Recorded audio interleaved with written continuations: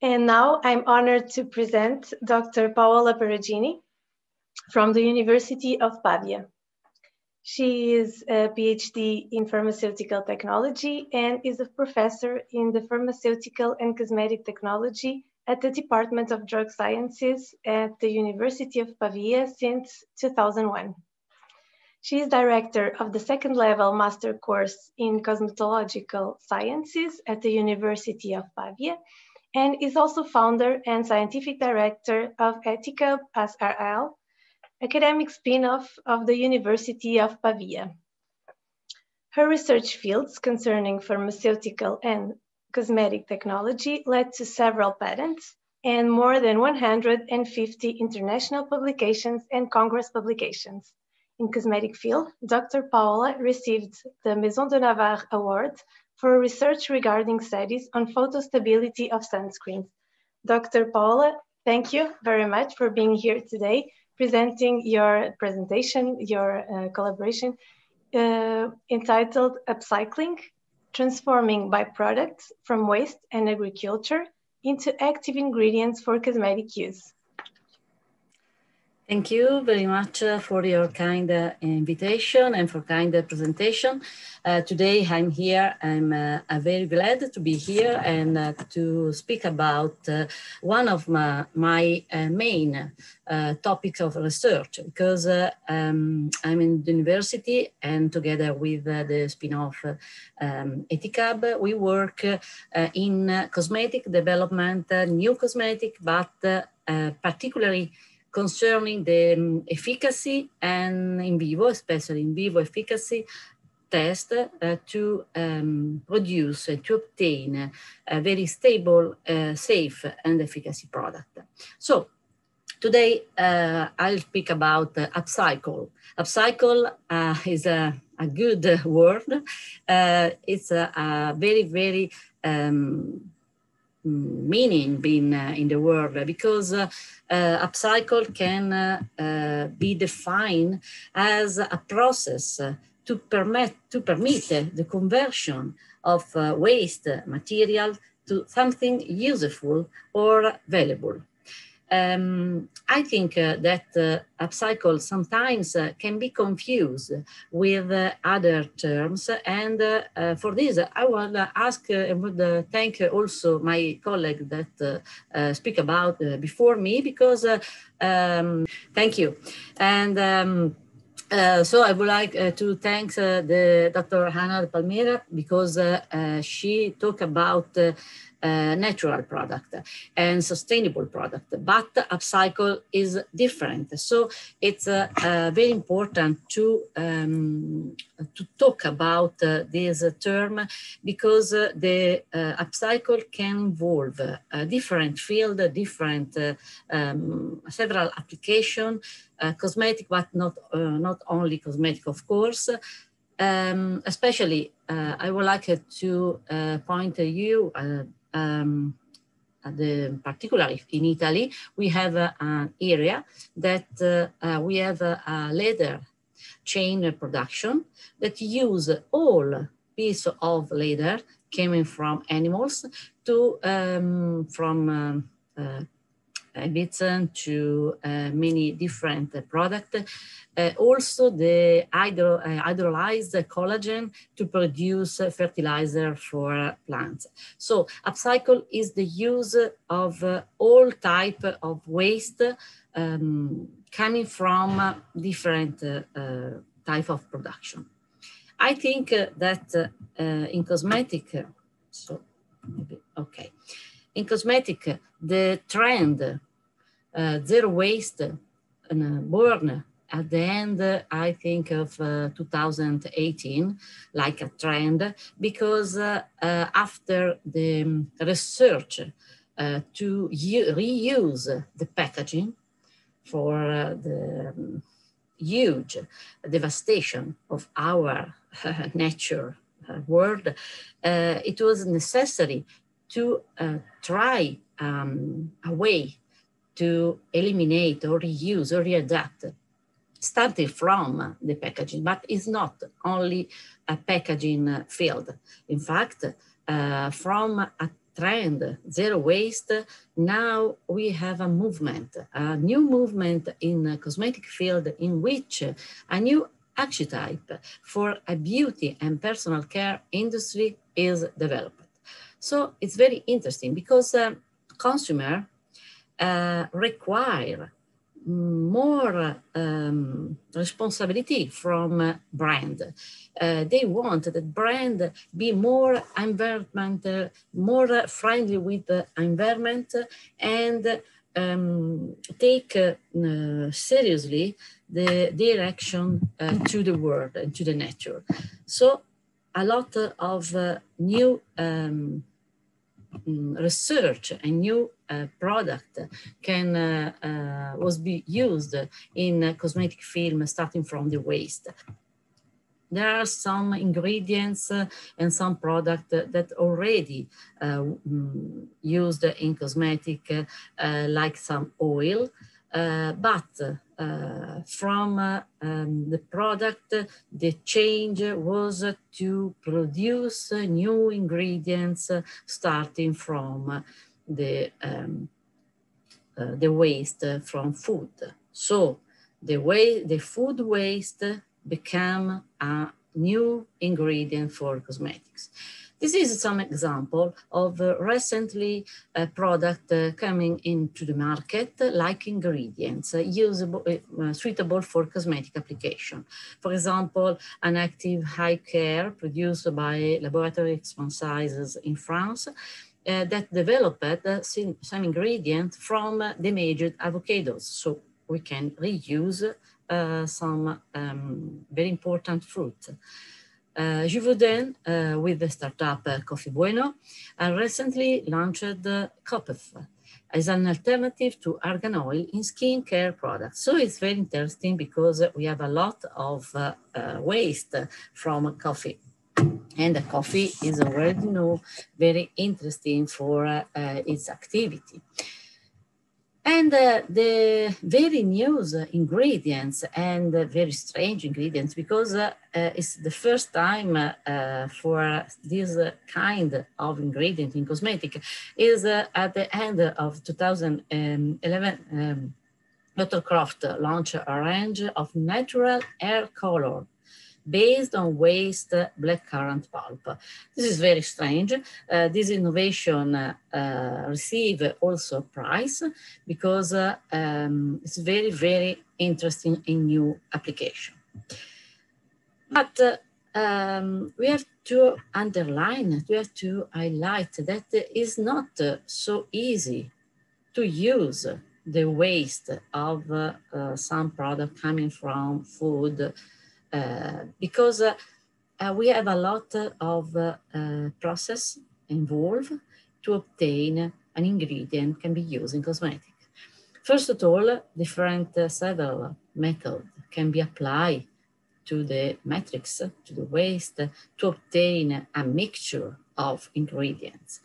The process are the, the, old or the new one processes especially the supercritical carbon dioxide extraction that is very uh, interesting because uh, it doesn't involve the use of solvent, but some microwave go into the green chemistry, also for other application and so on, a little uh, very uh, huge um, possibility for the process to obtain ingredients. But uh, keep in mind that uh, when you, you obtain an extract from a waste, you don't obtain only one substance, but you have uh, generally a mixture of substances. And uh, so it's very important to proceed with um, a path, to proceed with a um, very, very important part to obtain the um, substance or the mixture that you need to apply in cosmetics. So usually, uh, what kind of ingredient uh, can obtain from waste? Uh, uh usually suitable uh, ingredients can be divided in liquid and um, very often you, you obtain um, lipidic phase uh, like oils, natural oil, so can be effect, uh, chemically uh, oil like a triglyceride, but not only uh, ester with glycerol, but you can obtain ester, different ester, and we can uh, name all oils also if uh, there is some chemical differences between their structure. But you can obtain a liquid phase, oil phase, and a powder. The very interesting point in the recent years is obtain functional powder because this is the way the strategy can be winner. The winner strategy is to obtain the best results when you starting from waste. And I want you to show and why show you the some example to understand what I mean with uh, winner strategies. First of all, um, like uh, uh, the colleague of mine uh, um, started uh, talk before, there are a lot of step you have to go across uh, for obtain uh, ingredient with high quality, high efficacy, and of course, uh, high safety for consumers. And a lot of steps are needed also, and especially starting from waste. You have, uh, first of all, identify the ingredients and uh, proceed with its characterization and it's not um, always so um, simple, so easy. And then you have to evaluate the safety of the ingredients and uh, if it's not uh, a new ingredients because you came from a waste, you know exactly which substances are inside and all substances are well known from um, literature and from the psychological point of view, you can perform maybe only uh, preliminary safety uh, study in vitro and then go to the safety assessment in vivo with at least with the patch test. Then you can uh, evaluate uh, the efficacy of the ingredients you obtain from a waste, and then you can formulate the product, the cosmetic product, and then test the final product. So it's a very uh, long path, but uh, it can give um, satisfaction if you uh, can obtain. But if you want to start at the beginning, I want to show you that it's uh, obviously also for ingredient coming from waste that you have you have to um, assure the, the requirements. The requirements required for all cosmetic ingredient the safety the quality and efficacy. First of all the safety. So you have to know exactly which substances are in the waste and you, you uh, which substances you extracted you use, you have in your mixture, in your product. So you have to identify. The problem from the waste can be related to the natural sources. So you have to, of course, like uh, for all natural ingredients, test the absence of pesticide and of course the presence at the level of heavy metal because maybe can remain in the product obtained from extraction from the waste, uh, maybe from the process to use uh, for the extraction. And uh, also for this kind of ingredients, you have to produce the safety data sheet in which you can put also the um, toxicological information, the eco-toxicological information also, and then the certificate of quality. The certificate of quality define the characteristics for each batch of product obtained. So it's not the same, it cannot be the same for all batches of ingredients because sometimes we can have um, little difference uh, presence of uh, some substances in, inside, some uh, color, maybe also some differences in pH, maybe in um, particle size if uh, there is a powder. Uh, so the certificate is specific for each part, for each batch of production. This is uh, for all ingredients. It, it's very, very huge important for ingredient coming from waste because uh, you can start it from very heterogeneous materials. So you have to standardize the procedure to obtain always the same uh, ingredients. About uh, the uh, identity control of raw materials, um, we have to divide the technique that you can use to um, define which uh, substances are in the complex, in the matrix.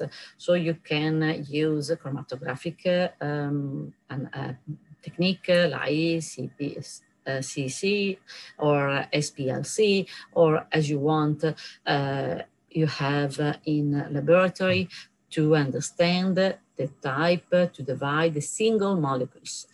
But it's very important for each batch of uh, product to identify uh, the, the mixture, the whole mixture, and uh, the sampler method to, uh, to be used to the identification for the identification of raw materials and now approved also in the the, the, official test in pharmaceutical um, regulation, uh, can be the near infrared spectroscopy.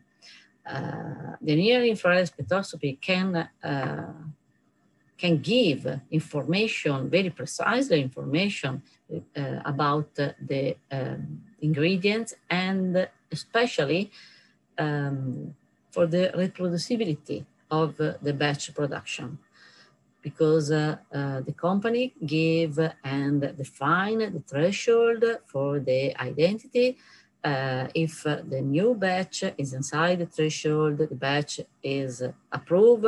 Uh, in other case, the batch is banned. So uh, near infrared spectroscopy can be a chance for company to uh, obtain very, very um, fastly the response about the control, so the identity, but also for the uh, control of uh, water content content into the product, into the ingredients, because um, very often when you start from a waste, you have um, a high content of water, of humidity, and it is essential to dry the, the, the, the starting materials before obtaining the ingredients.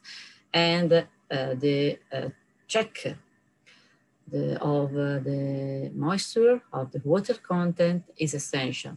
And the infrared is very fast method to obtain this result. You can also obtain um, concentration, a calibration curve, and you can also test the content like a um, percentage of water inside the, the dried product. Then uh, I want you to show some example of uh, the path about uh, uh, the use of some um, waste coming from nuts especially uh, oil uh, coming from the shell of the shells of different uh, type of nut and their application in cosmetic. Um, starting from the pecan nut, pecan nut is a very nice uh, nut, uh, appreciated worldwide for uh, their um, different for the taste, but also for a characteristic very important for alimentation, for food. And Um, following the path uh, that we uh, saw before, we have the first step, step of characterization of ingredients, especially for acid content. And we have uh, a lot of unsaturated um, acid in, in all nuts. And this is very important for also for skin about uh, the safety evaluation, uh, the was performed in vivo tolerability evaluation through the patch test, and uh, these ingredients uh, was uh, um, defined as a no and no adverse effect was um, evident after application. About the efficacy evaluation, uh, we try to uh, evaluate uh, two different type of uh, efficacy. Uh, first of all, uh, the efficacy um, against the, the, radicalic activity. So we use the antioxidant activity test through the DPPH test uh, it's very common, very um, simple method to evaluate the antiradicalic activity, especially for uh, lipophilic substance. And we use as a control the argan oil, very used in cosmetic field. And uh, we made a, a, comparison to the standard, to the control.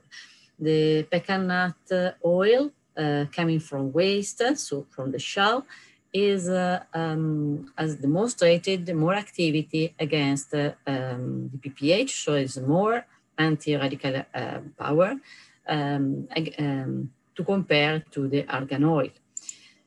In the same way, we studied uh, pistachio. So uh, is a way we obtain oil from um, waste, from the production of the uh, pistachio cream for food or pistachio um, fruit to be consumed. consumed. And uh, also in this case, uh, we uh, obtain a characterization of the ingredients, um, definition of no irritant through in vivo tolerability test, and um, the activity was uh, um, the DP, uh, through the DPPH test was uh, higher than the control two, again, like uh, um, pecan nut. Um, obviously, uh, no pesticide and no um, heavy metal are present in all um, product we tested for in vivo. The third nut we evaluated was the hazelnut, so the oil coming from uh, waste from the production of hazelnut and the use of hazelnut, especially in Italy for Nutella, is a, a cream uh, based on the hazelnut um, fruit. Uh, in, uh, this, in this way, uh, we made the same path about the characterization in acid, the evaluation of no irritant um, effect on human. At least 20, 25 uh, people was enrolled for each test and uh, the evaluation through the DPPH. but after that, we wanted to uh, verify the opportunity to use these oil, these oils in cosmetic formulation, and we produce the oil for hair care spray, for hair care, especially spray. The spray uh, are um, common formulation for hair, and uh, the presence of high content of oil inside the spray can um, claim uh, several uh, effects like a shining effect on hair, uh, compatibility, so it's uh, uh, more easy uh, to perform uh, several uh, form of the hair. And uh, we want to uh, evaluate also the antioxidant capability to protect hair after application. The antioxidant capability uh, that before we tested only in vitro with DPPH starting from the oil directly in cuvette and in uh, spectrophotometer. Um, now uh, we wanted um, to apply test on hair. So we use the stress and uh, we analyze stresses and we um, verify the activity, antioxidant activity normalize for uh, quantity of spray used in stress and for gram of stresses used. Then we uh, verify the shining effect in vivo with a new technology. The new technology is a filament surface tester. is a technology we developed in the university and uh, uh, now we are patenting. We are under patent, uh, European patent um, attending the, the number of the patent. And uh, it's very important uh, technology because uh, it is possible with one, only one instrument have um, directly the, um, the, efficacy about the shine, the color of hair, and or in general, or filament, like all eyelash, tissue, or as you want. But uh, about hair, uh, this technology can uh, give information about color, about uh, shine, about the combability and um, curly and frizzy hair, but uh, indirectly also uh, about um, integrity of the hair. This is very important because if you, I want to use an ingredient and a, a product that can protect hair against um, oh, uh, well, against the treatment, uh, hot treatment uh, against chemical treatment, uh, maybe mm, some um, permanent or uh, some glazing product, or also protect against UV uh, rays. we can give directly what only one instrument all these activities.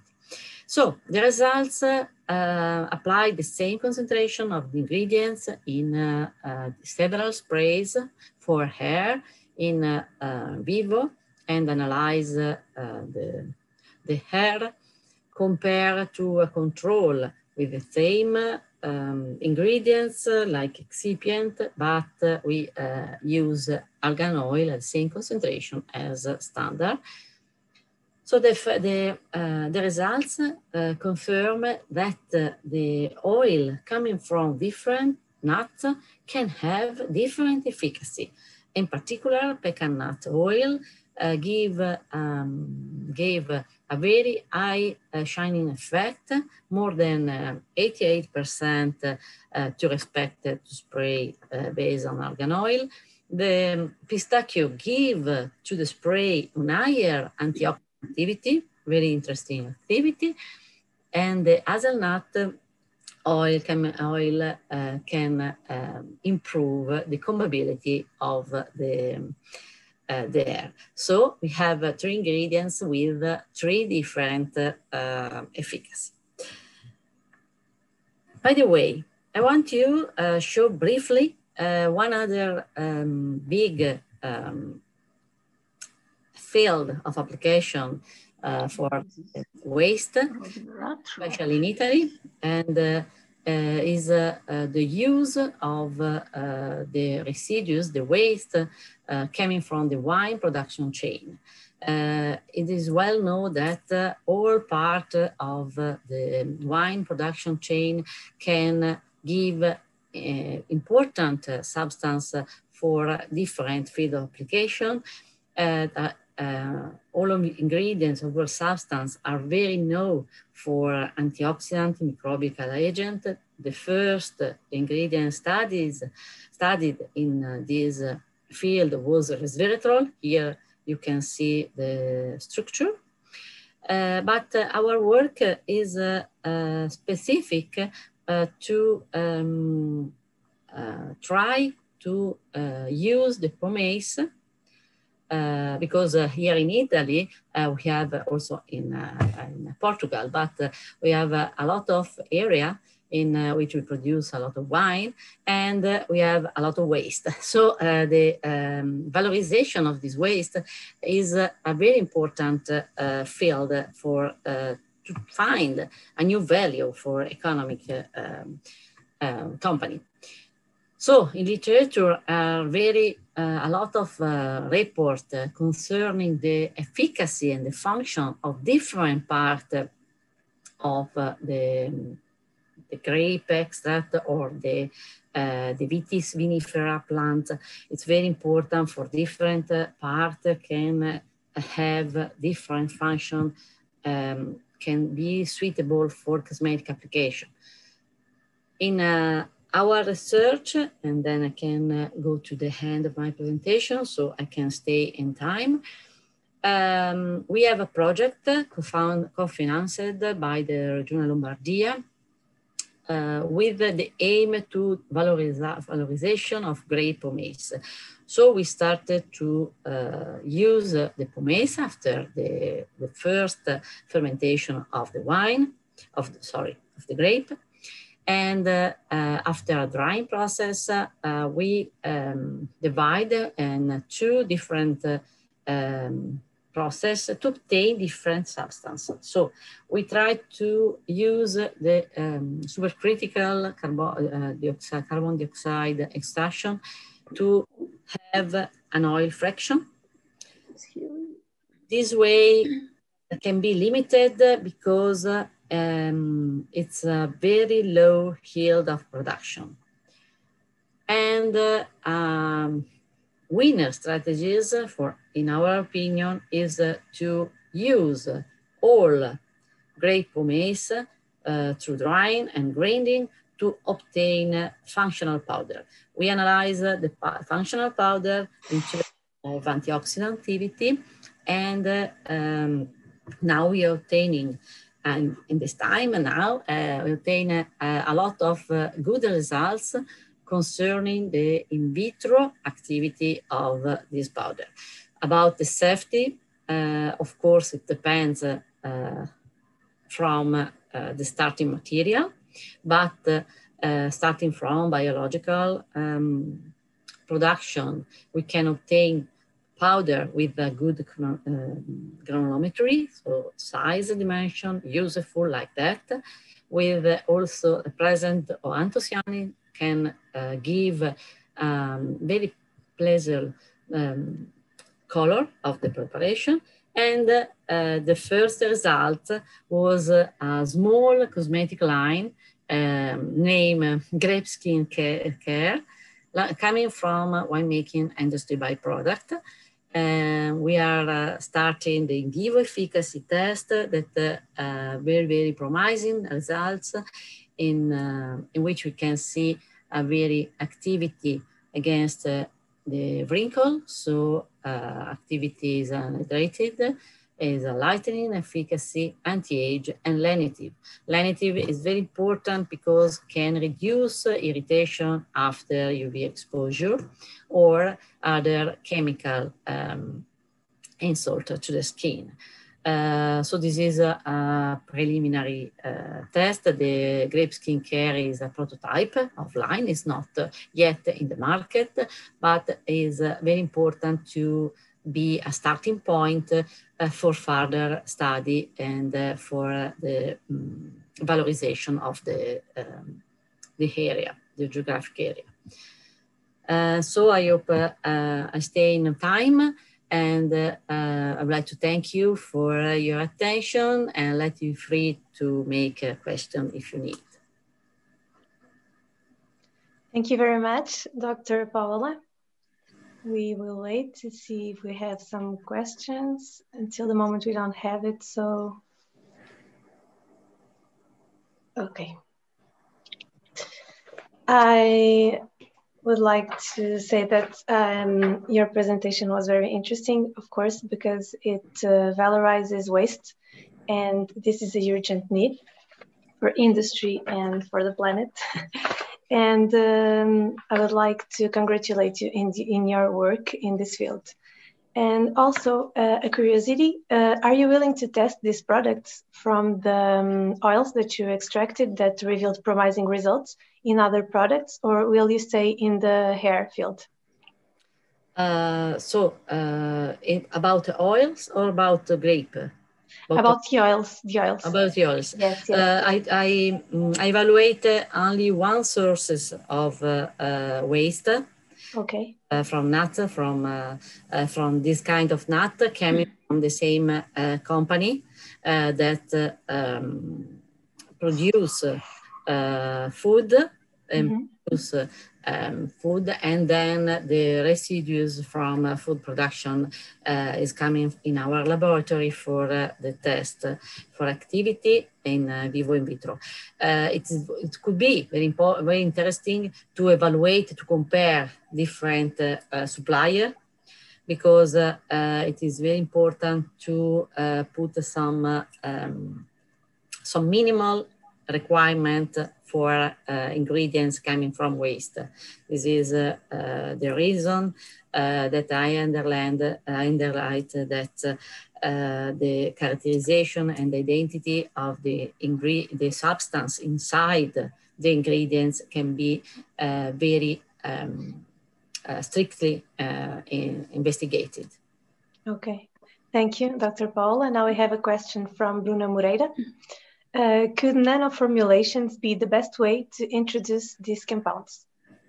Uh, if uh, we uh, talk about oils, uh, but uh, the problem for natural oils coming from waste is the same of oils. So it's greasy, as a color, and sometimes smell. Uh, so uh, we work uh, some years ago also from residues from olive water um, olive uh, production, and uh, it was uh, very complicated for the smell and the color. The big problem are the color and the, the smell. So we have uh, to use uh, some um, pigment, uh, blank pigment, white pigment to reduce the color. And you can use some natural oil, natural essential oil to change the, um, the smell and uh, to make it uh, uh, more pleasure. About powder, uh, it's a very, very uh, chance to use it for skincare, but also for makeup. So you can have uh, makeup with a function, a specific function, anti-age function. And so I think it's a, a good um, novelty for cosmetics not only for texturizing agent, but also to obtain a real efficacy in uh, the makeup. Thank you very much, Dr. Paola. Uh, we will now uh, move on to the oral communications um, session. And I would like to remember you, remember you, sorry, that you can contribute once again with your questions in the YouTube live stream chat, so they um, the speakers can answer them at the end of the presentations. And I would ask the the speakers to stay until the end of the session so they can answer these questions. And also would like to mention that the book of extract of uh, abstracts and the diplomas for the participants will be sent uh, by emails to the participants as soon as we have the ISBN number.